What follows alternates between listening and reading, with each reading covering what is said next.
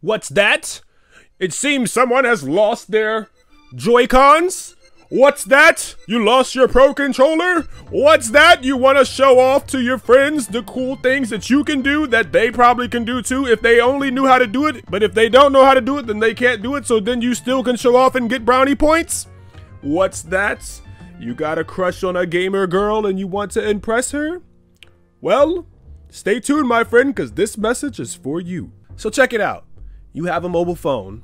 We all do. Most of us do, at least it's Android. Only the cool guys got Androids, of course. you know what I'm saying. And um, you you want to play your Nintendo Switch. You want to use your phone to impress people. Play your Nintendo Switch with your cell phone.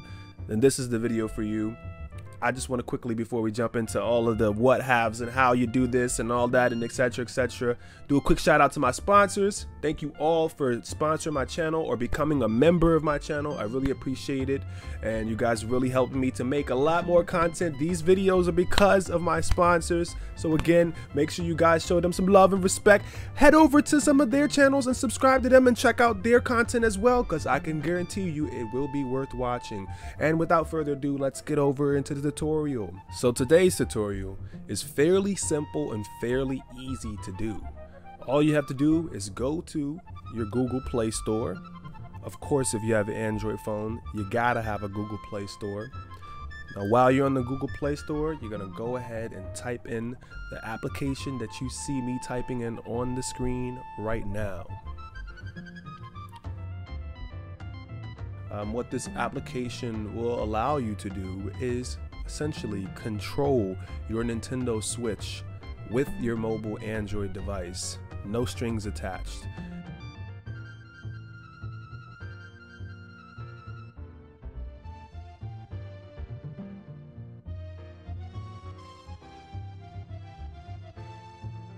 Now the app does have ads and the ads can be a little obtrusive sometimes, but if you don't mind dropping I believe it's $2.99 or $4.99 or $1.99. I don't know the exact price. It's pretty cheap.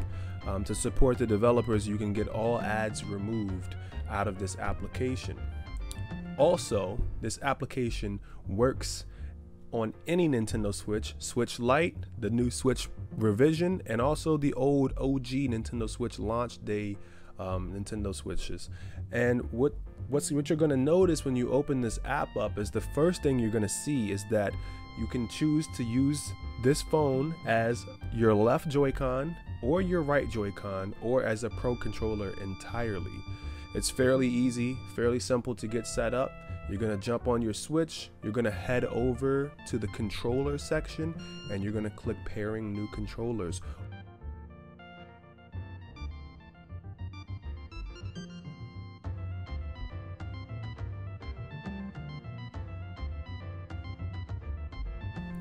When you're at that screen, you're to open up this application. You're to allow it to cut on Bluetooth.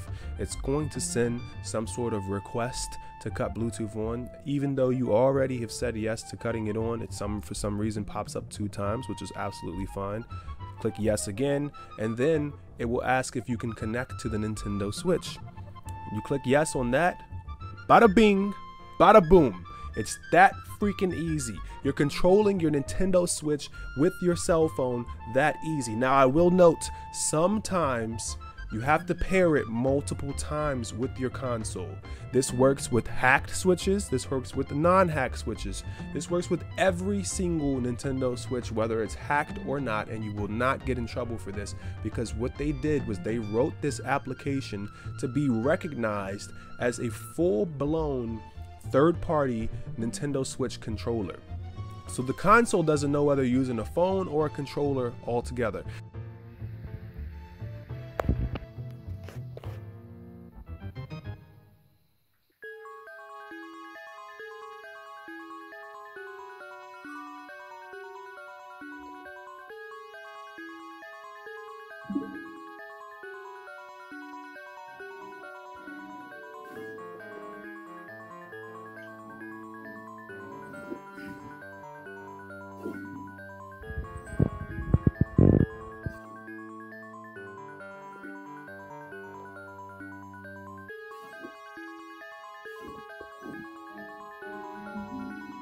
And what's the most exciting part about this device or about this um, application? The application allows you to connect a controller to your phone via a hard put input device, meaning that you need to have it plugged directly into the phone. This will not work over Bluetooth because remember, your phone is connecting to the switch itself using the Bluetooth module already. So you can't use the Bluetooth to at the same time as using um, your Bluetooth as a, a, controlling device, a device that's controlling um, another device. For some reason, it doesn't allow that to work uh, on at least on my phone, and I believe it would probably be the same on most of um, other Android phones as well. If you want to use a controller, say you have a PS3 controller, a PS4 controller, something along those lines, all you would do get an OTG cable, plug it in through your phone, and bada bing, bada boom, you're ready to go. It's that easy. You plug your controller in, and now you can play your Nintendo Switch almost latency free with any controller that has a hard put input device. Xbox 360 controllers, no problem. PS4 controllers, no problem. PS3 controllers, no problem. That old Windows PC controller you got that's sitting in a drawer that you never use anymore, no problem. Plug it directly into your phone. You're good to go. Now connect your phone to your Nintendo Switch. Bam, you got an extra controller. Friends come over, y'all want to play Smash Bros. You want to sit down and have a good time. You got a couple couple of lads over drinking beers, taking shots, stuff like that, but you don't got enough controllers for them.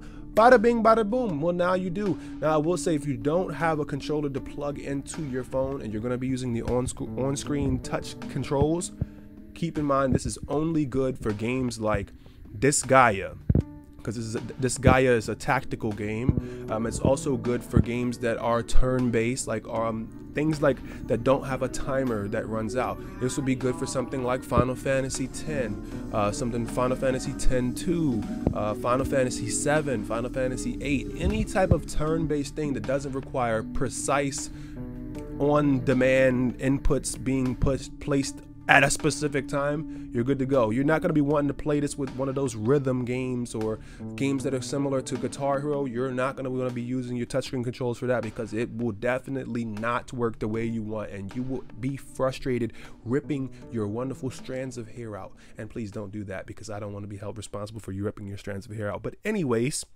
that's all it takes, guys. It's that simple. What do I think of this? This is amazing. This is honestly awesome. You might catch me using this just to show off to someone, like I said at the beginning of the video, or you might catch me using this if maybe I really don't have enough controllers. I don't see that being a problem because my um, my girlfriend Mikado, she's got her own two Joy-Cons. I got my own two Joy-Cons, and then I have a Pro controller as well. I don't see how one, two, three, four, five, six con six, con five controllers, excuse me, can't be enough for for people to play with. It's rarely a time that I'm gonna be playing any game with five different people. Just saying, just throwing that out there.